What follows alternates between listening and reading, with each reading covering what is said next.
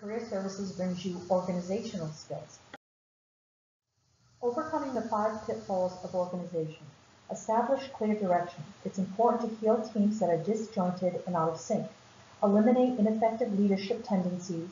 Also improve communication and focus on accountability.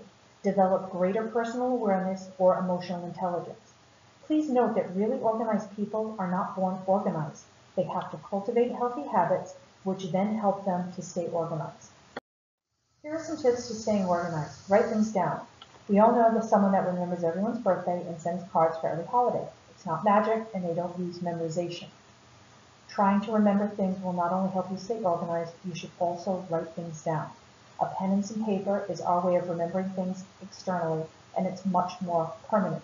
You will also further complicate your life by trying to contain important dates and reminders in your head. Write down everything such as shopping lists for groceries, holiday gifts, home decor, and important dates like meetings and birthdays. Also make schedules and deadlines. Organized people do not waste time. They recognize that keeping things organized goes hand in hand with staying productive. They make and keep schedules for the day and the week. They make deadlines and set goals, and most importantly, they stick to them. By living a cluttered lifestyle, you will not have the time or space to make your deadlines or achieve your goals. Also, do not procrastinate. The longer you wait to do something, the more difficult it will be to get done. If you want your life to be less stressful and less demanding, then organize as soon as you can.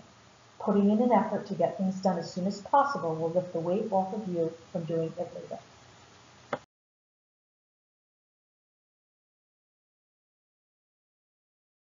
In order to be organized, it's important to delegate responsibilities. A really organized life is not overfilled with responsibilities meetings, and deadlines. In fact, it has less because things that create stress have been slowly organized out. As an experiment, look at your to-do list or make one.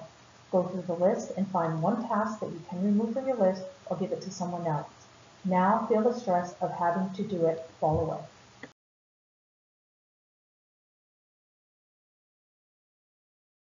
It's important to work hard at being organized. Once you have delegated responsibilities and made a schedule, then you can organize what you have to do and when you can do it.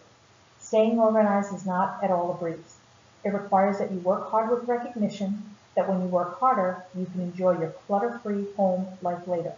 Work harder when you feel like giving up today. What's more important is to remember what you work for is meaningful to you. Learn from these organizational tips, make them your habits one by one. Slowly, you'll become a lot more organized and productive.